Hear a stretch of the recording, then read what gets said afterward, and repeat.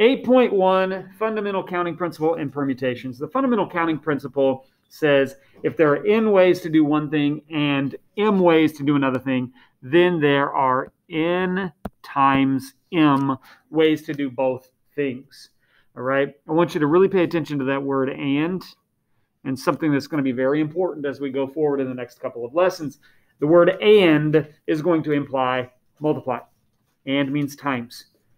Example one, how many combinations are possible without repeats and then with repeats? So they show you this lock, and I don't know if you can see, but but there are four little numbers, and you can spin around each of those four numbers, and it looks like there would be how many choices would there be for that first spot?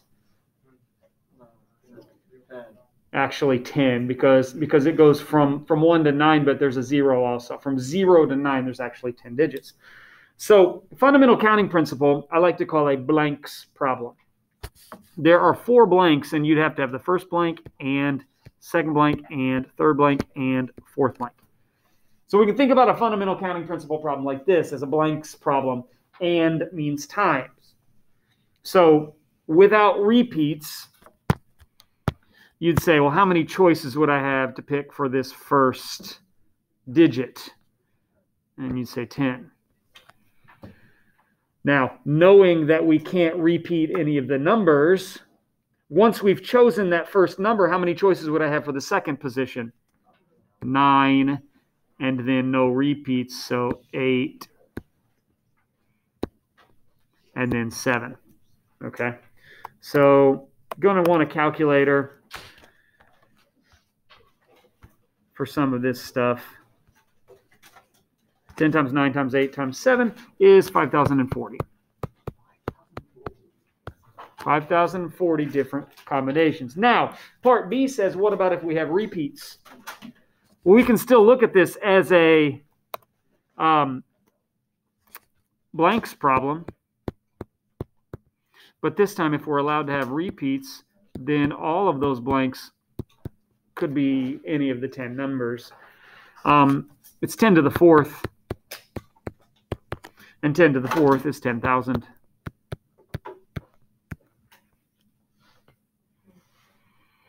Example two is a different kind of lock, and you've all seen this lock before, I imagine. Um, this kind of lock usually has how many blanks in it?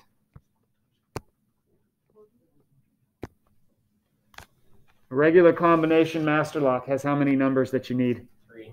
You're going to have three. You're going to go. Um, but if you look at this specific one, how many digits are there on the on the dial? 40, right? From 0 to 39, there'd be 40. So without repeats, your first blank, you'd have 40 numbers to choose from. And then how many after that? 39. And then how many? 38.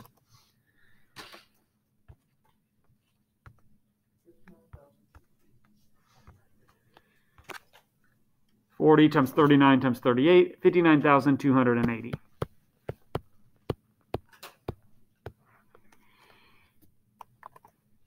Without repeats, oh, that was with, without. Now with repeats, it's basically the same thing. You've got three blanks and you've got 40 choices for each of those three blanks. So we really have to think about sometimes in the question if we're allowed to repeat or not. So we can do 40 to the third power is 64,000.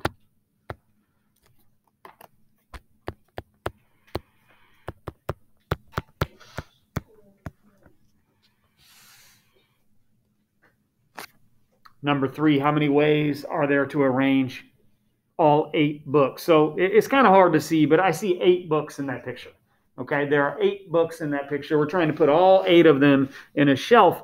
So if you think about fundamental counting principle, there are going to be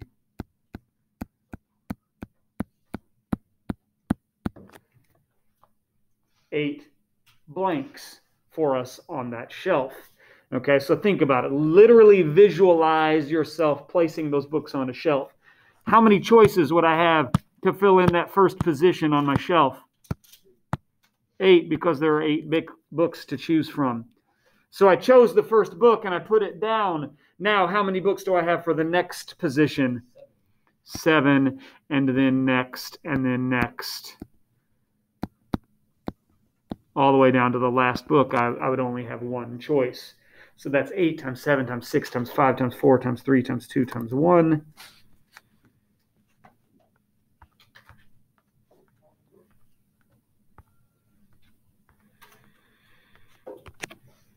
Forty thousand three hundred and twenty.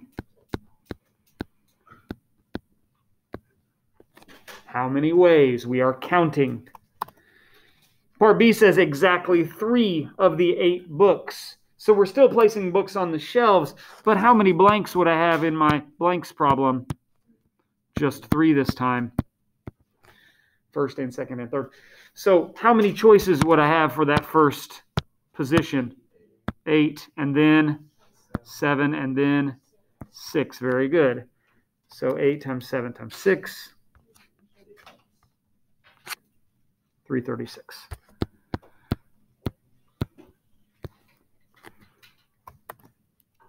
Okay, and that brings us to an important concept. A factorial is the number of ways to put a set of n items in order. It's given with that exclamation point, n factorial. And the formula for a factorial is this.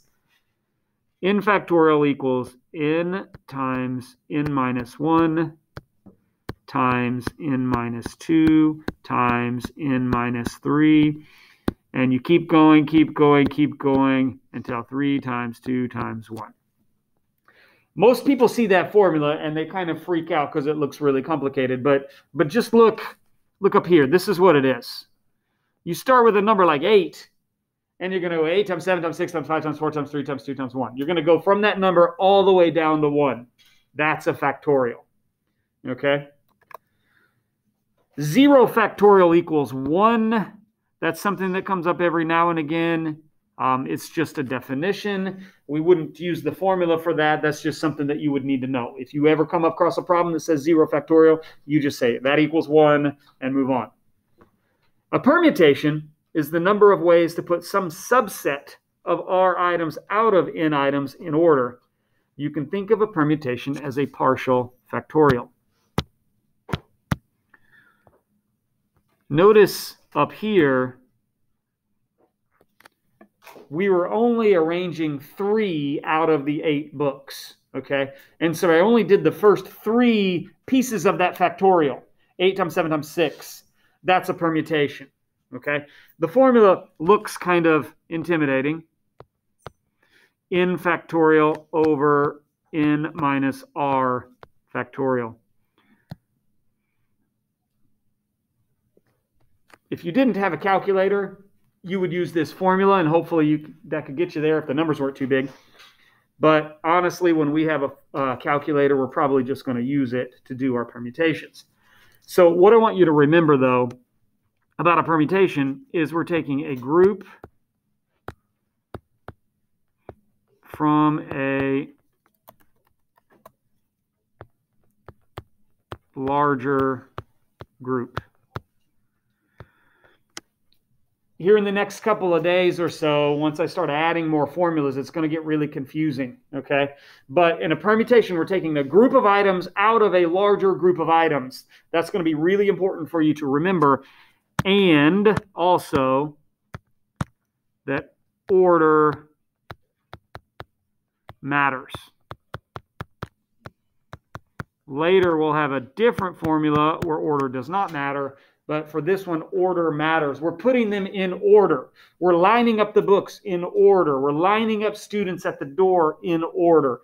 Order matters. Number four says evaluate. And so you've got a permutation. You've got your two arguments, five and three. That means we're taking a group of three items out of a larger group of five items. So if I was going to use the formula, the formula says 5 factorial over 5 minus 3 factorial. Or do the subtraction, that's 5 factorial over 2 factorial. 5 factorial is this, 5 times 4 times 3 times 2 times 1, and 2 factorial is 2 times 1. So you might notice the 2 and the 1 can cancel. I'm left with 5 times 4 times 3. That's 20 times 3, which is 60. Now, honestly, I feel like it's kind of silly to do all that work when we can just do it on our calculators. So, you know, check it out. On your calculator, you can do, most of them are like this. You're going to go 5 and then find your NPR button. Okay. 5 NPR 3 is 60. So on your TI calculators, you need to find the math button and arrow over to the PRB menu. It's inside there. Okay. If you have like a, a TI 30, I think you have a PRB button somewhere. Click that, and you should be able to find the, the, the same uh, numbers. Okay. I'm sorry? Right, exactly. You'll have an NPR and an exclamation point both inside that menu. Okay, very good. So then part B says 4 factorial. Well, that's 4 times 3 times 2 times 1. And, and we can do that in our head. That's 12 times 2, that's 24. But you could also, on your calculator, find that exclamation point, 4 factorial is 24.